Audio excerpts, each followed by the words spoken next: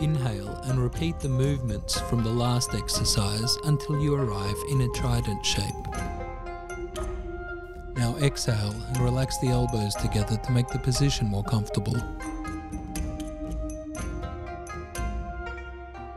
Gently squeeze the muscles of the palms and fingers as if holding onto a balloon, not wanting to burst it, but also not wanting to let it go.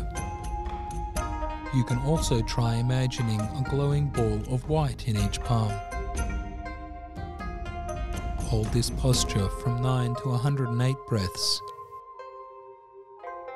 When you have finished, bring the palms back to below the navel and settle the mind by breathing into the dantian using the method described in the ebook.